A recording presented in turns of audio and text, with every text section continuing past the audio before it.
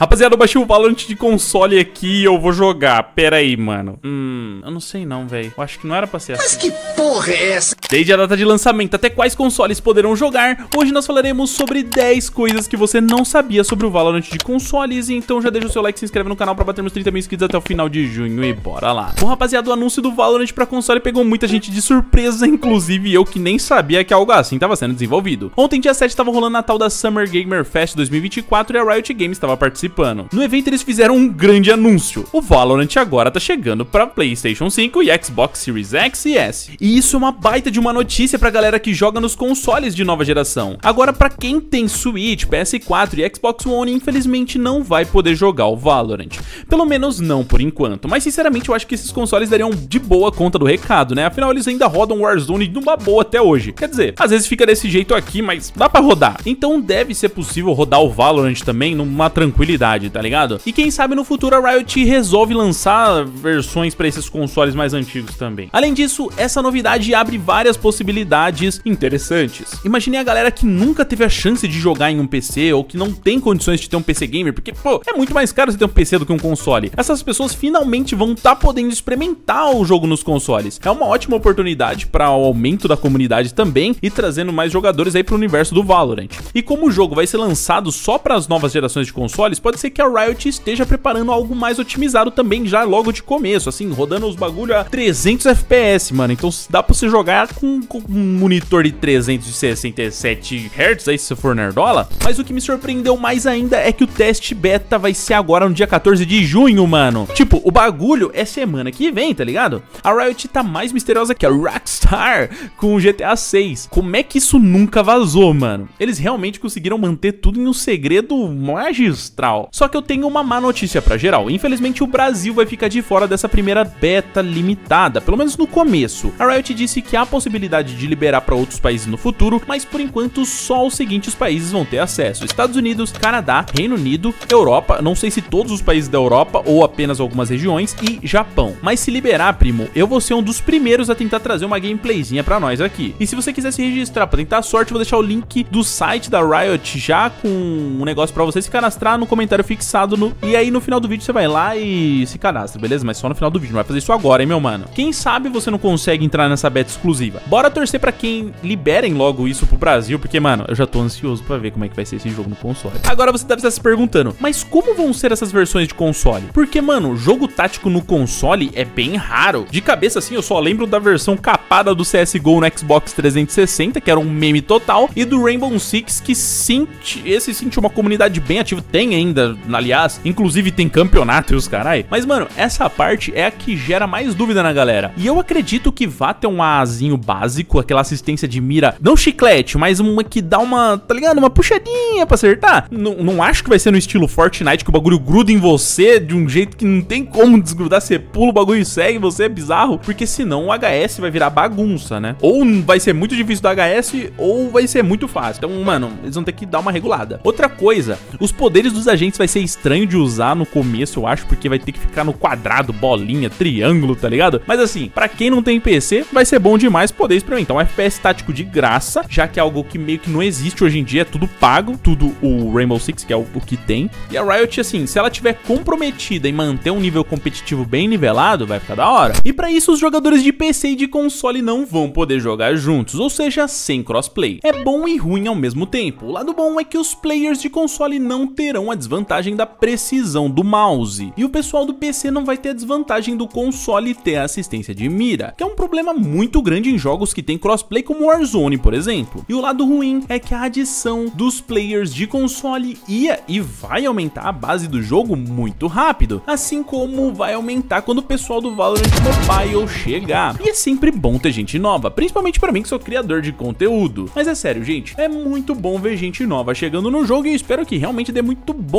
Então não taca hate no jogo assim de graça, tá bom? Só porque é de console. E você deve estar se perguntando, será que vai haver suporte para teclado e mouse nos consoles ou apenas controles serão aceitos? Bem, a Riot ainda não respondeu isso e não falou nada, mas seria bem legal ter essa opção, né? Porque no Warzone a gente já tem isso e todo mundo que já jogou no console sabe que quando as empresas não liberam esse, isso de você poder conectar um mouse e teclado logo de nativo, o pessoal dá um jeito. Porque existe existe um dispositivo chamado Cronos Max, que é um hack absurdo e ele dá a movimentação de um mouse e teclado, mas com assistência de mira do console. Então não preciso nem dizer que isso parece um aimbot, né? E é bizarro do quão forte é você ter o Cronos Max no seu console. Então a melhor opção, ao meu ver, é ou libera para geral usar de nativo do console ou ter um jeito de banir os caras, mas é complicado demais achar quem tá usando o Cronos Max, de identificar, sabe? Porque no console você tá conectando um pendrive basicamente do Cronos Max que vai simular um controle, é bizarro. Mano, é muito difícil, tá ligado? Então assim, vamos ver o que o Riot vai fazer, né? Mas eu espero que realmente tenha a opção de você usar o mouse e teclado nativo, que aí já elimina todos esses problemas. Mas tem uma coisa que é incrível e me surpreendeu muito. O Valorant Mobile não vai ter isso, mas os devs já prometeram que no console vai ter. A sua progressão e inventário serão conectados. Isso significa que todo o XP e os agentes que você desbloquear no PC estarão disponíveis no console. E eu acredito realmente que seja só XP e agentes, e não o elo, por exemplo, porque seria muito estranho. Tipo, eu sou prata no PC, eu posso ser platina no console, tá ligado? Então, mano, se juntar vai ficar esquisito. Eu posso upar conta no console por ser mais fácil, teoricamente, tá ligado? E meio que são jogos diferentes, então acho que não vai ter. Essa parte do duelo, com certeza não vai ter, pelo menos não é possível, né? Agora, sobre as skins, vamos ver se é verdade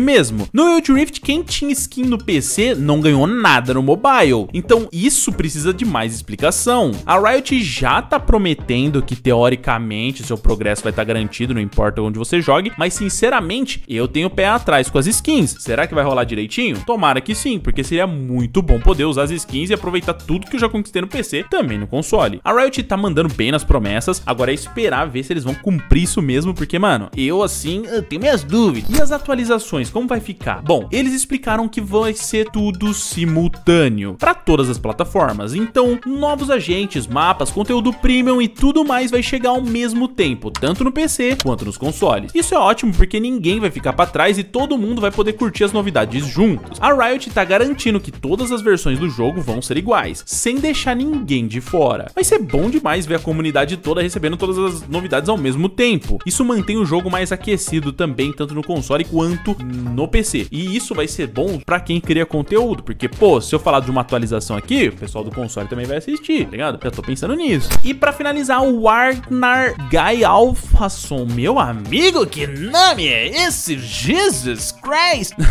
que é o diretor de produção do jogo, falou que a meta deles é trazer a mesma experiência competitiva do PC para os consoles e que se eles não conseguissem fazer isso, eles estariam prontos para desistir completamente do projeto. Isso eu acho que é o jeito da Riot de dizer que podemos ter competitivo nos consoles também. Separado, obviamente, não vai ter um VCT console versus PC, tá ligado? Mas eu acredito sim que vamos ter é, campeonatos, não sei se oficiais ou se por meio da Game Club, ESL, sei lá, algum dessas organizadoras, mas é bem legal ver que a Riot já tá se comprometendo com esse tipo de coisa. Então, eu acho que se você é do console, quer virar pro player, o Valorant pode ser uma boa opção. E rapaziada, se vocês gostaram desse vídeo, mano, comenta aí que vocês estão curtindo ver esse tipo de notícia aqui no canal, que aí eu consigo trazer um pouco mais. Então, se você tá curtindo, mano, escreve aí, Bruno que tá muito bom. Continua aí fazendo esse tipo de notícia, meu mano. Porque, tipo, agora é tipo umas 4 horas da manhã que eu tô editando esse vídeo e, mano, pô, fazendo isso aqui por você. E desde como não ser amassado por uma jet, até como se livrar do setup do Cypher. Nesse vídeo nós vamos ver uma dica de como counterar cada um dos 24 agentes do Valorant. Então clica no vídeo que tá aparecendo na sua tela